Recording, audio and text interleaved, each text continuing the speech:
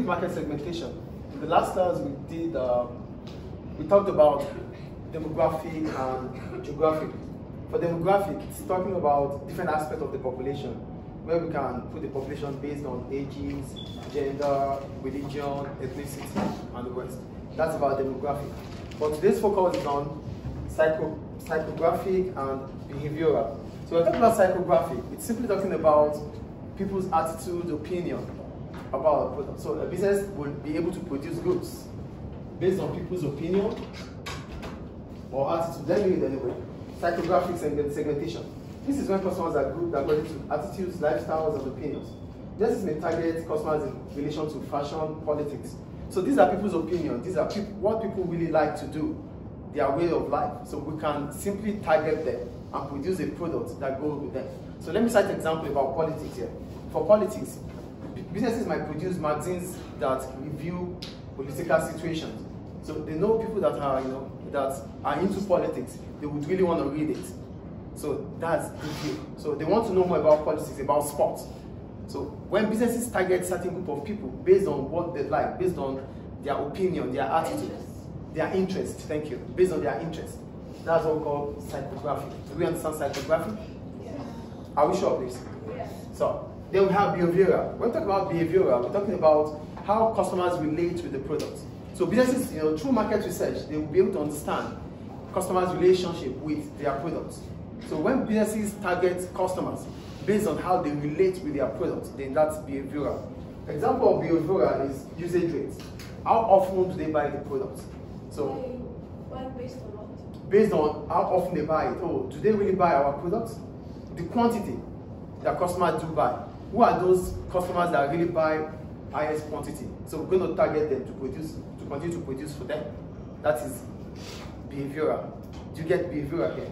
It's talking about the quantities bought by customers. Oh, specific group of customers, they buy more. You know, we already have a segment, right? So in this segment, please sit down properly. In this segment, this group of people buy more, so we have to produce more for this kind of people. That is about time, about usage. Then we have the loyalty. How emotionally attached are customers to our product? So who are those customers that are really, you know, emotionally attached to our product? Then we continue to target them and produce for them. That is another type of behavior. Do we get it? Do we get it, please? Yes. Loyalty is about how emotionally attached to a product. So who are those customers that are attached to our product that they would not leave our brand? No matter what happens, they always want to buy from us. So targeting them means you've segmented the product based on their loyalty. Do we get loyalty, please? Yes. Are you here? Okay. The third one, time and date of consumption. Sometimes, you know, this is simply talking about what time people do buy the products. So you know, some people, some customers they buy products mostly at a specific time in the year, maybe during festival time, maybe Eid, maybe Christmas and the rest. So you might target them based on the, the time you know that consumers really want to buy. Do we get it or I explain again? I can explain again. When we talk about time and date of consumption, it's simply talking about what the time or the the the period at which customers really want to buy. So what periods do you really sell? This period, oh, between January to March, we used to sell more. So who are those customers that buy between January and March that are giving us more revenue? We might target them.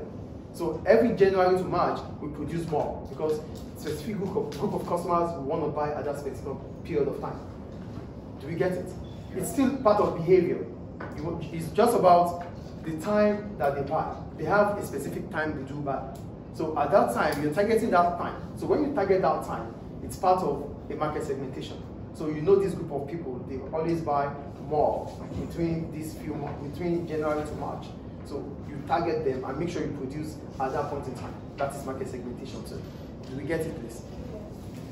So what are the benefits of businesses having a market segment? Number one, businesses that segment the market will be able to increase revenue. How are you going to be able to increase revenue? You'll be able to increase revenue because you are producing different groups, different products for different group of customers. So if customer A is not buying this, it's customer B might buy. So you have different goods that customers might be willing to buy. So most of the customers are always with you. So that would increase your revenue. So because you have what they would want to buy. Not that they have to leave your they have to leave your brand to buy from your competitors because everything they need you always have is available. So the availability increases your revenue. Do we get it? Being able to market, being able to segment your market allows you to have more customers wanting to buy from your brand. Like you have the syrup, you have the tablets, the pills, you can take them. So, oh, paracetamol has pills, it has syrup and the rest. So every paracetamol product is going to be available for every group of customers. So we don't need to check Panadol. We don't need to check any other brand because for paracetamol we have everything we needed. So that means paracetamol will be able to increase its revenue. Do we get revenue increase here? So the first reason why a business would want to really increase or would want to really market, segment its market is because it wants to increase revenue. Do we get it? Yes. Are you guys with me? Okay. The second one. Businesses that do market segmentation won't need to waste promotional resources. When we talk about promotional resources, we are simply talking about how we want to sell our products, how we are creating awareness about the product. So because you know your market segment, you know your targeted customers, so you wouldn't need to beat around the bush. You just go straight and target them and make whatever promotion you want you need to make to them. So the promotion will be targeted and focused on them. So you won't be wasting resources. Do you get it or not? You won't be wasting resources here, promotional resources, if you are able to target your customers. Because when you advertise for everybody, it's a waste of resources.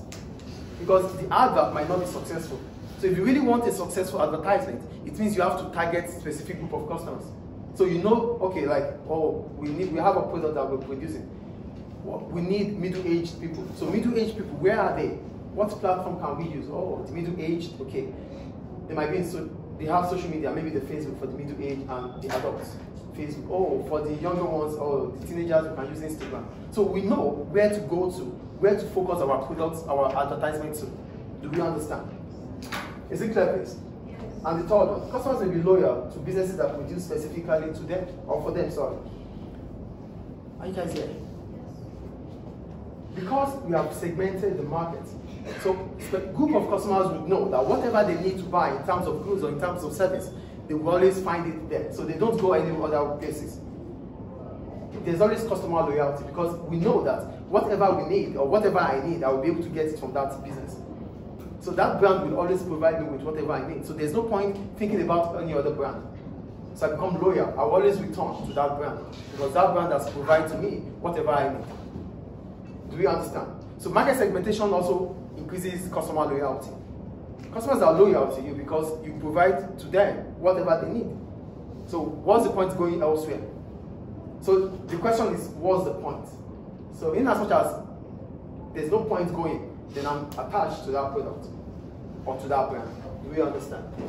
Do you understand, this? Yes. And the last one, businesses may be able to market different ranges of products to different group of customers. Because you have different market segments, it means customers will have different choices to make from.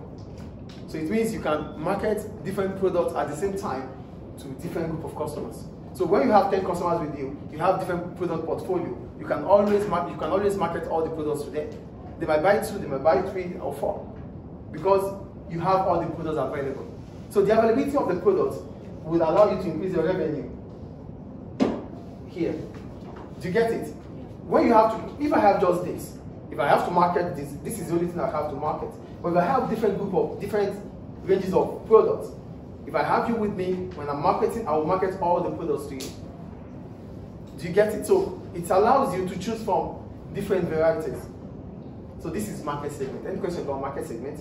So market segment is simply talking about splitting, dividing the market according to different characteristics of the population. We have uh, demographic, which is about different uh, different uh, stages, different ways in which the population is being divided. We have uh, we have psychographic now, which is about behavior, attitude, and opinion of customers. And we have um, we have uh, behavioral, which talks about how we relate with our customers, how we relate with the product. And for the benefits, it increases your revenue, it increases or improves customer loyalty, it allows you to not waste your promotional resources. And at the, at the, last one, it allows you to, to market different products to different group of customers. Is market segment clear?